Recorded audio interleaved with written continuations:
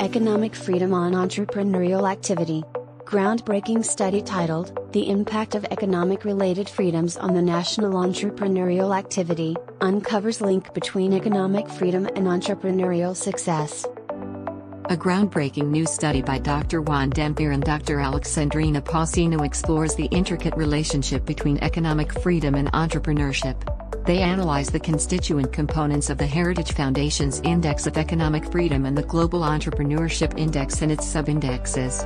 As the most comprehensive global analysis of its kind, this research examines data from 118 countries between 2014 and 2019. The study demonstrates a significant positive relationship between the Global Entrepreneurship Index and the business, financial, and trade freedom.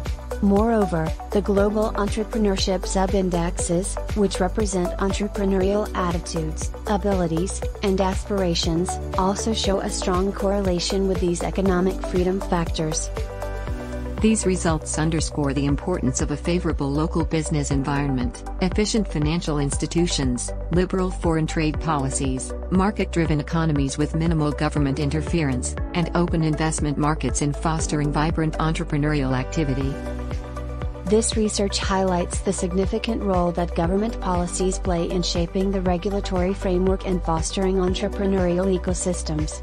The findings may prove valuable for government decision makers, particularly top policymakers, who need to support their decision making processes with scientific data and analysis.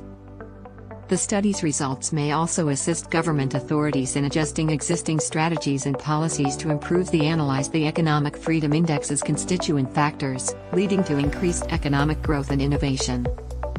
Thank you very much for your time and attention. The research articles is available in the following link. You can also access the article by scanning any of the following QR codes.